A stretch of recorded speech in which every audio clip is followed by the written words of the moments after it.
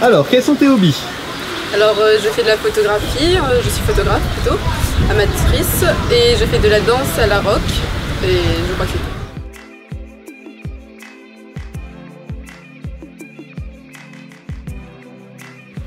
Qu'est-ce que tu veux faire après tes études? Je pensais faire un BTS en communication afin de faire euh, wedding planner peut-être plus tard si j'aboutis, euh, si je réussis plutôt. Ça consiste en quoi?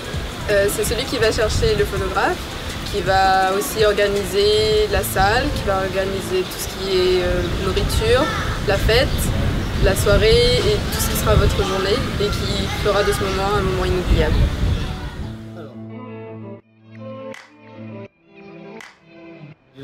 Je vous attends à l'élection Miss Asiane 2014 à la Nordève le 2 août. Venez nombreux